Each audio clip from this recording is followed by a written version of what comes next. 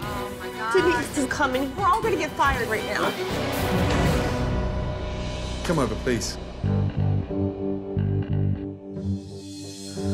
Uh, right. I saw a lot yesterday, and I wanted to catch up with the team. And some of the crap they've had to endure and tolerate is actually quite horrific. I'm amazed that they're still here. I'm now going to ask them to open up and be honest with you.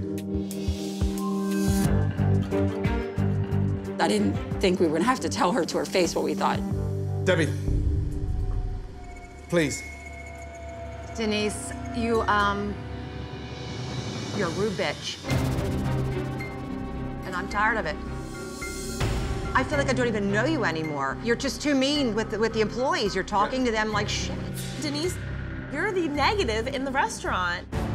You make me feel like I'm not good enough.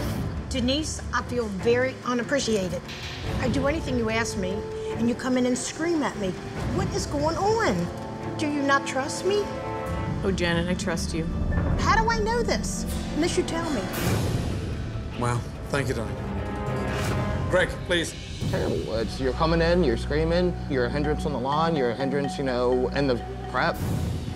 You're controlling everything, and yet you've got a brigade, front and back of house, that are loyal and hardworking and can get the job done. Denise, your ego is huge, and you think because you're Denise Whiting, you can do anything. You have to stop feeling sorry for yourself, that nobody likes you. We've already established that. People don't like you.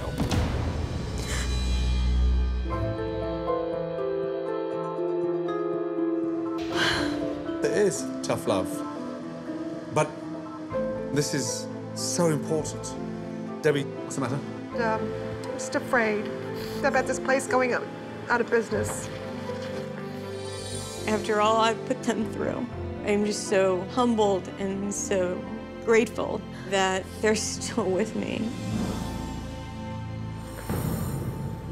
To lose this business would be for me to lose my soul and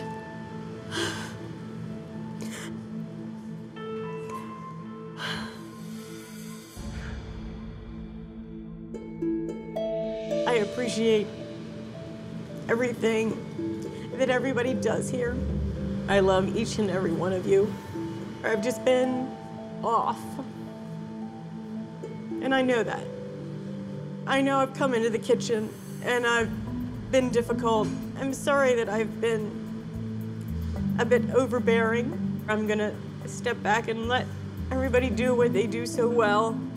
And I can only say that this is the beginning of a new day. She seems sincere now, but I'm a little doubtful about what she's gonna do as far as changing. Very doubtful, in a way. Sad to say. Thank you. I, I, I don't know where to start. I'm sorry. These aren't just delicious. They're beautiful and they come from right inside you. I know that. You did a fantastic job.